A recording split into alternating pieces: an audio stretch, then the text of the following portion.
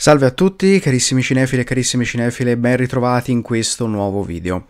Dunque, oggi voglio mostrarvi tre film, tre eh, articoli che mi sono arrivati dalla CG Entertainment, sono ordini che ho fatto il dicembre dello scorso anno, più una sorpresa che eh, francamente non mi aspettavo e che poi vi mostrerò. Quindi cominciamo subito con eh, il primo titolo è eh, frutto di una startup, è I Basilischi, come potete vedere, il eh, film d'esordio della regista Lina Wertmüller, è un'edizione mh, mm, chiaramente limitata, la mia copia è la 146 su 500 ed è un film eh, veramente mm, molto bello. Io eh, quando l'ho visto eh, sono rimasto mm, positivamente colpito da quello che reputo uno dei migliori esordi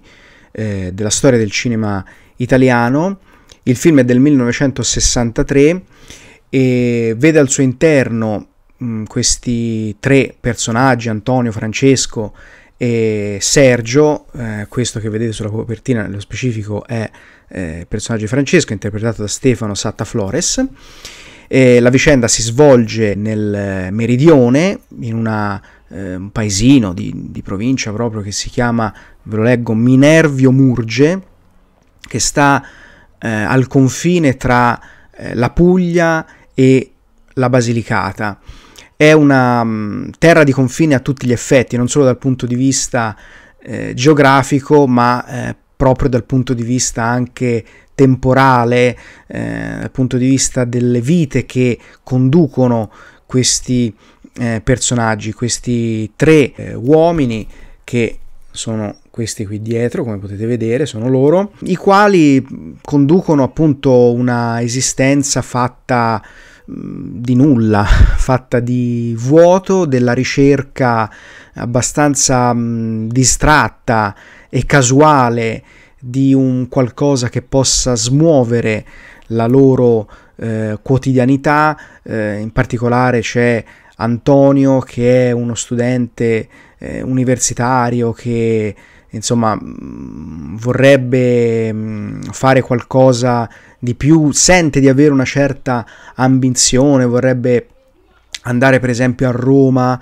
e mm, stabilendosi nella capitale, una grande città, una grande metropoli, magari potrebbe finalmente mettere a frutto eh, il suo talento, i suoi studi, eccetera, ma eh, insomma la sua eh, incapacità di andare oltre la mm, mediocrità, la dimensione eh, mediocre della sua vita che ormai ha assunto in modo irrimediabile, ha accettato, finisce insomma per accettare eh, tutto questo lo costringe sostanzialmente all'inattività e tutto all'interno di questo paesino suggerisce che il tempo sia effettivamente sospeso, sia fermato. La modernità eh, stenta ad arrivare in questo posto, i sogni, eh, i progetti si scontrano con l'inattività di questo eterno presente che sembra non essersi mai liberato eh, delle convenzioni che vengono direttamente dal passato. Questo è un mondo dove addirittura le ritualità eh, che riguardano per esempio il corteggiamento delle donne sembrano qualcosa che viene da un tempo ancestrale, da un tempo che appunto sembra non essere mai del tutto passato. E questa atmosfera estremamente rarefatta e immobile eh, ci viene mm, data grazie non solo alla splendida regia eh, della Wertmüller che riesce a ehm, raccontare e a descrivere eh, le vite e gli ambienti di questi personaggi con un piglio ehm, neorealistico assolutamente. Però riesce a fare anche qualcosa che va un pochino oltre, riesce addirittura a toccare il confine eh, del surreale, del grottesco. Non lo fa in modo scoperto, però si sente che in un paio di passaggi eh, il film eh, sembra riuscire un attimino a prendere le distanze dal neorealismo e a entrare in un'altra forma, entrare in un'altra dimensione. E oltre alla regia della Wertmüller è da segnalare eh, la colonna musicale realizzata da Ennio Morricone, eh, fantastica, mm, è una garanzia Ennio, eh, lo sappiamo, ehm, ma c'è anche una fotografia assolutamente di alto livello realizzata da eh, Gianni Di Venanzo che con questo bianco letteralmente abbagliante, con queste eh, inquadrature che riescono eh, sia che si tratti dei primi piani, sia che si tratti delle inquadrature più ampie eh, fino ad arrivare ai totali, c'è sempre questo bianco abbacinante, accecante, che ti dà proprio l'idea di non di un luogo ma di un non luogo, cioè un posto dove questi eh, personaggi sono confinati, perché appunto come ho detto all'inizio questa è a tutti gli effetti una terra di confine. Quindi alla fine emerge un eh, ritratto abbastanza disilluso, disincantato di questa terra che sembra eh, appartenere proprio ad un'altra eh, dimensione, sembra appartenere ad un uh, racconto fantasy, invece è proprio un pezzo del sud Italia. Possiamo dire che questo ba- i basilischi è un po' diciamo eh, la versione meridionale eh, dei Vitelloni che invece eh, film del 53 eh, del grande Fellini era ambientato eh, a Rimini quindi se i Vitelloni raccontano una, una realtà del settentrione ecco quello stesso aspetto o comunque una storia, una vicenda o delle vicende se vogliamo che hanno molto a che fare con i vitelloni e da cui chiaramente la Wertmüller ha preso ispirazione, eh, i Basilischi invece parla di un pezzo della eh, società, eh, della classe media comunque perché questi fanno parte della classe media del meridione che sono incastrati, sono eh, impossibilitati a compiere una qualsiasi forma di progresso. La borghesia italiana, che si tratti del settentrione o del meridione, è una classe che appare eh, fortemente, se non addirittura irrimediabilmente cristallizzata, immobile. E questo chiaramente provoca eh, tutta una certa serie di, di conseguenze nefaste a livello sistemico. Quindi questo è eh, l'esordio della Wertmüller, un film che io vi eh, consiglio e vi consiglio tanto l'acquisto anche eh, della ehm, startup eh, realizzata dalla eh, CG che ha appunto questa slip cartonata molto molto ben fatta, ben curata. E al suo interno abbiamo appunto il Blu-ray la confezione bella solida e abbiamo anche il booklet, eccolo qua, con la fotografia di Antonio, qui davanti invece abbiamo Francesco e Sergio e dentro insomma ci sono tutti gli approfondimenti che sicuramente vi aiuteranno a eh, comprendere, a um, leggere meglio, se vogliamo, il film della Wertmüller. Bene, andiamo avanti e passiamo a quello che è un vero e proprio pezzo da 90, cioè Tetsuo, la startup che eh, a dicembre la CG aveva eh, lanciato. All'interno di questa edizione, in serie limitata, la mia copia è la 533 su 1000 abbiamo due film, quindi il primo, cioè eh, Tetsuo The Iron Man, e il secondo che è Body Hammer. Vi ricordo che ehm, la serie dedicata a Tetsuo è composta di tre film, quindi qui abbiamo i primi due, ma nel 2009 è uscito anche eh, The Ballet Man. Non l'ho ancora visto, anzi a dire il vero non ho visto neanche Body Hammer, quindi è l'occasione giusta per poterlo vedere. Chiaramente conoscevo invece già il eh, grande, grandissimo esordio di eh, Shinya Tsukamoto e um, film semplicemente um, allucinante, è un qualcosa che è impossibile da descrivere, cioè um, se, se c'è un film che non può essere raccontato esattamente Tetsuo perché mh, c'è veramente di tutto, ci si può trovare di tutto, ci si può trovare la tematica dell'insoddisfazione della sfera per quanto riguarda la sfera sessuale, la perversione, l'ossessione fallocentrica della società giapponese che porta alla distruzione dei legami affettivi, eh, che porta, non lo so, a esaltare e a portare fino alle estreme conseguenze eh, la volontà di potenza eh, dell'uomo soprattutto, cioè dell'uomo come maschio. E mh, mm, tutto questo poi si fonde in un finale semplicemente allucinante dove uomo e macchina si fondono insieme, sono il perfetto prodotto di una società eh, sempre più moderna, sempre più tecnologica, che però sembra smarrire in egual misura eh, la propria sincera umanità. Stiamo diventando sempre più delle macchine prive di affetto che eh, si preoccupano più che altro eh, dell'efficienza, che si preoccupano più che altro della vittoria della competizione, che si preoccupano di fare soldi, eh, di fare profitto. Quindi la modernità è un qualcosa che può generare invece dei mostri. E questo Tetsuo è così, cioè alla fine quello che emerge è un inquietante sguardo su una società che sta veleggiando verso il futuro, ma ehm, senza rendersi conto che questo futuro eh, non è così roseo, non è così eh, positivo come la tecnologia, come l'evoluzione tecnologica, come l'innovazione sembra promettere.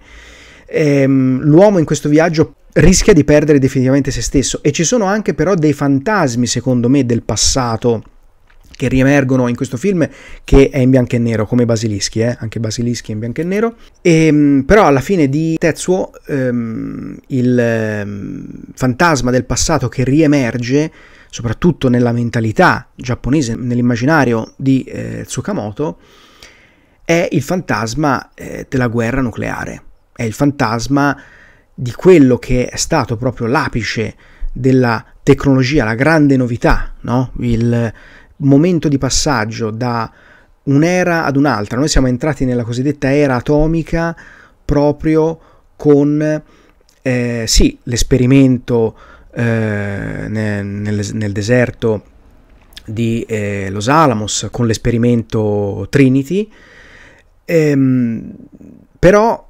quell'arma ad un certo punto è stata utilizzata proprio sulle persone quella nuova tecnologia è stata utilizzata ad Hiroshima e, Nasa- e Nagasaki. 6 agosto del 45, 9 agosto del 45, gli statunitensi gettano due bombe nucleari sulla testa degli esseri umani, dei giapponesi. E lì abbiamo un trauma, una ferita che non si è mai ricucita, non si è mai rimarginata, ha segnato per sempre l'immaginario collettivo e Tsukamoto, in quanto giapponese, propone il momento traumatico in cui la tecnologia e l'essere umano si sono fusi anche proprio fisicamente insieme e hanno generato un enorme mostro, che è la paura nucleare. E questo mostro ad un certo punto sferraglia in mezzo alle strade, eh, non so se di Tokyo o di chissà quale grande città giapponese con eh, un montaggio a dir poco frenetico con la macchina da presa che si muove veramente all'impazzata, veramente il film attraverso eh, una forma che è sempre più mutevole e allo stesso tempo sempre più disarticolata, spezzata, riesce a comunicarci proprio quella che è l'essenza, rap- viene perfettamente rappresentata sul piano cinematografico l'essenza di quella creatura, l'essenza della paura che anima il regista eh, Tsukamoto. Quindi veramente Tetsu è un film particolarissimo, stranissimo, estremamente bizzarro, eh, feroce, disturbante, ma è anche un film che riesce con una grande creatività a parlarti di molte cose, di molte tematiche, riesce a suscitare delle paure, delle ansie delle riflessioni che secondo me sono tutt'altro che banali.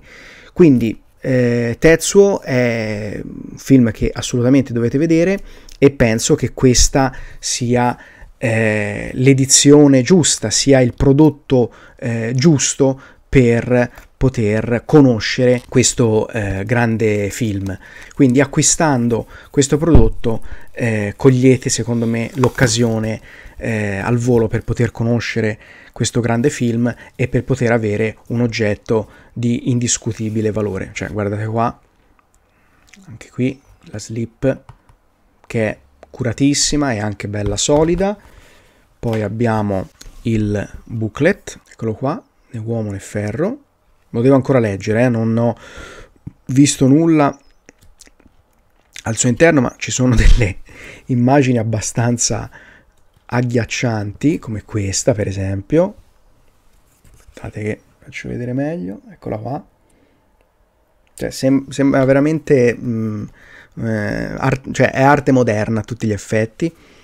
Ci sono anche le immagini delle eh, locandine dell'epoca, cioè dell'89 e del 92. Questa qui è l'immagine anche della copertina proprio della slipcase. E poi abbiamo la confezione che contiene i due film. Ecco qua. Fantastico. Veramente un prodotto di livello eccezionale. E arriviamo all'ultimo eh, articolo che è una sorpresa, perché io nel pacco dove era presente eh, Tetsuo ho trovato il postino di Michael Radford, film eh, del 1994 che io in realtà già possiedo, però ho il DVD di un po' di tempo addietro e siccome il Blu-ray è stato mm, rimasterizzato, mm, le immagini sono divenute eh, più nitide, eccetera, a me non può fare altro che piacere poter fare l'upgrade con eh, questo prodotto che tra l'altro al suo interno ha un sacco di contenuti speciali. Io vedo tra gli extra c'è il making of, ci sono le scene alternative, l'intervista a Gianna Gisi e l'intervista a Lorenzo Baraldi. E poi all'interno c'è pure un booklet inedito di 20 pagine che ora andiamo a vedere. Ecco qua. Allora, qui c'è il film e qui c'è il booklet inedito.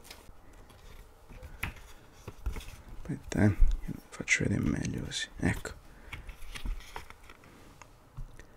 Postino Mario,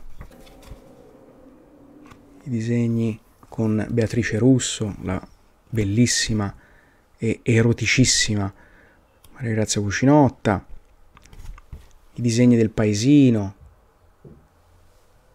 vedete? Molto molto bello, molto interessante. Ah, le scenografie. Eh, insomma, è veramente bello, veramente bello. E ehm, che dirvi, io sono contentissimo che la CG mi abbia fatto questo omaggio perché veramente non me l'aspettavo.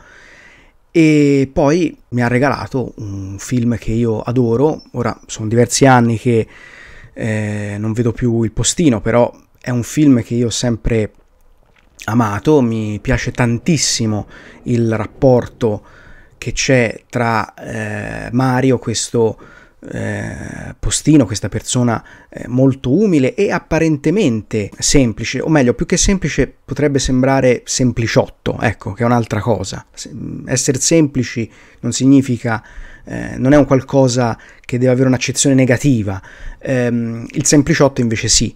Ecco, lui può sembrare un po' sempliciotto, in realtà è una persona dotata di una grande sensibilità, è una persona che è mm, in grado di porsi degli interrogativi eh, molto eh, semplici ma allo stesso tempo eh, estremamente complessi o quantomeno che necessitano di una risposta tutt'altro che eh, banale.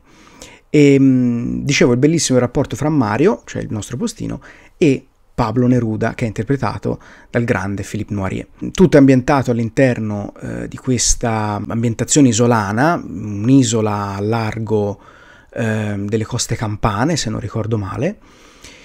E, mh, è una storia di amicizia, una grande storia di amicizia, è anche una storia d'amore perché comunque Mario eh, nel corso eh, delle sue giornate che trascorre in questo luogo eh, bellissimo, eh, per carità, fantastico, dove però anche lì, come nei basilischi, sembra che non succeda mai eh, nulla di nuovo, l'arrivo del poeta Pablo Neruda, un artista politicamente anche molto impegnato, in polemica, eh, pure con il governo cileno, eh, eccetera, eccetera. Il suo arrivo fa anche un certo scalpore, suscita scandalo e così via.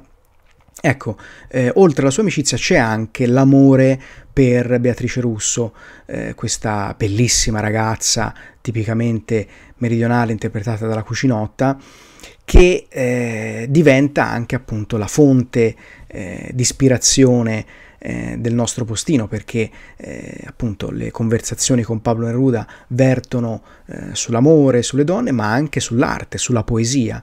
E Mario che fino a quel momento non aveva avuto mh, occasione magari di dimostrare questa sua sensibilità, ecco, grazie all'amicizia con il grande poeta cileno, eh, riesce a far germogliare questa meravigliosa pianta, questo meraviglioso dono, questa predisposizione all'arte, questa capacità di comporre poesie, ma soprattutto questo eh, talento nel riuscire a trovare la bellezza eh, nel creato, in ciò che si para davanti ai suoi occhi, a decantarla attraverso appunto la poesia.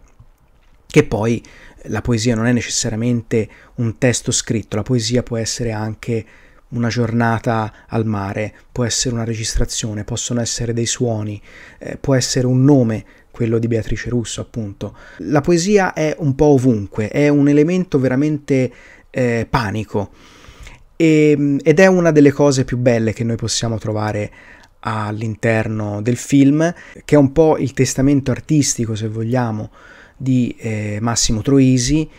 Eh, l'attore eh, napoletano ebbe eh, appena il tempo di concludere eh, il film e poco dopo, insomma, lui morì per un attacco cardiaco. Nel film stesso le vicende di Mario si concludono probabilmente con la sua morte, quello sguardo finale perso, tristissimo eh, di Philippe Noiret è anche un, un omaggio proprio verso il grande attore napoletano ed è un film che assolutamente secondo me merita di essere visto, di essere eh, posseduto, eh, di essere amato. Veramente il postino è uno di quei film che io mi porto sempre con gioia nel cuore. Quindi se avete l'occasione di acquistare eh, questo titolo, fatelo eh, acquistando sul sito della CG e se ancora non lo avete visto, fidatevi.